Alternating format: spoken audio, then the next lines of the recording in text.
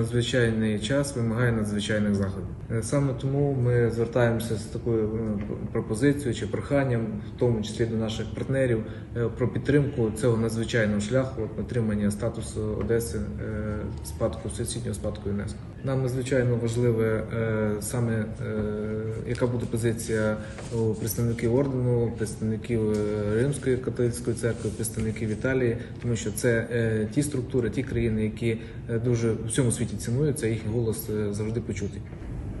Посол Патроны, э, мы хотели бы к вам об- обратиться тоже, что в Одессе очень много, куль- э, очень много культур, итальянской культуры. Э, Нам, ну, мы нуждаемся в мире, мире в Украине, мире в Одессе. Э, в Роди- э, Нам нужна э, помощь, чтобы сейчас войти в ЮНЕСКО для того, чтобы у нас ну, дальше продолжался мир в нашей стране. А Со стороны ЮНЕСКО у вас не будет никаких проблем вхождения того, что вы э, заявили. Э, То есть у нас будет поддержка. Мы понимаем, что это надо сделать. М, Наше представительство в Нью-Йорке и Женеве очень много внимания уделяют э, тому, что происходит сейчас э, в Украине, все, весь этот ужас, который у нас сейчас происходит.